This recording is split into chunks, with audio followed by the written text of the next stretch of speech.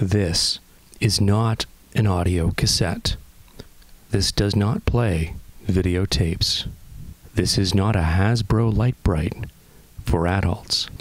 You could be forgiven for mistaking this for just another piece of 1980s plastic fantastic trash. But you would be wrong. Nothing quite oozes mid 80s yuppie nostalgia like a Minolta Maxxum 7000. You could imagine one sitting in the leather passenger seat of a black BMW convertible parked at a beach somewhere in Northern California. Every aspect of its angular design, the buttons, the contours, and especially the typeface, scream 1987. But there is so much more to this camera than its aesthetics. As a statement of modernism, no dials exist anywhere on this chunky proper SLR. Well, Nikon, Canon, and Pentax retained some design traditions in their new models. Minolta was not similarly inclined. SLRs had remained largely unchanged in design and function until this happened.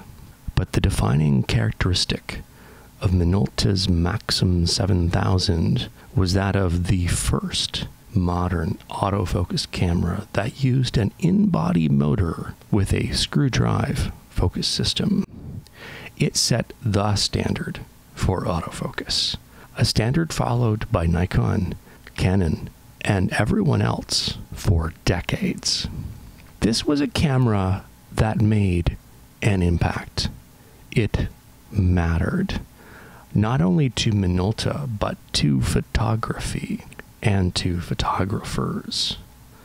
The Maxxum 7000 was Minolta's enthusiast level camera, playing second fiddle only to the vaunted Maxxum 9000 professional model. But yet it was a full featured camera with program, shutter, and aperture priority auto exposure, six segment metering, and TTL balanced flash alongside full manual control, albeit through the pressing of buttons rather than the twiddling of dials. It has a depth of field preview and a clear and comfortable viewfinder in which LCD exposure data is displayed. And while those of us using modern digital cameras may find it simple to use today, its electronic controls were futuristically digital in nature when it was introduced. Speaking of features, autofocus speed is adequate by modern standards, with a contrast detection system that works well in all but a dimly lit room. For the first of its kind, it is actually acceptable, and was certainly competitive throughout its production run. But the 7000 was not without its own challenges. Perhaps the most amusing obstacle it faced was not the camera itself, but Minolta's own Maxxum branding.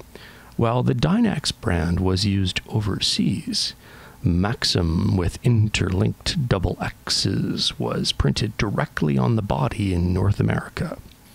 Without expectation, ExxonMobil was quick to launch a copyright suit claiming potential confusion with their own interlinked double X logo.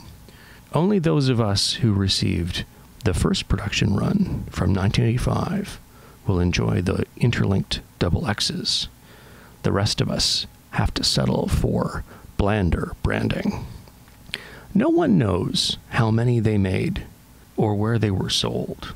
They aren't rare cameras, but like so many others set aside in the name of progress, be that by way of newer film cameras, if not the advent of digital, certainly the majority of them are lost in time forever. What's often forgotten, though, is how this camera was central to Minolta's final photographic heyday before they cried uncle to Nikon and Canon, who had dominated them amongst professional photogs. Minolta sold their photography assets, including the Maxxum's A mount lens system, to Sony, who used it as the basis for their Alpha DSLR system. Even today, you can still use most Sony Alpha slash A mount lenses on these classic Minolta SLRs. And rumor has it, the opposite is true as well. It's possible that the Minolta Maxxum 7000 might remain underappreciated, only to be discovered by collectors or a celebrity for reasons we don't yet understand. Maybe, just maybe, it's a future relic of an important moment in the evolution of camera design.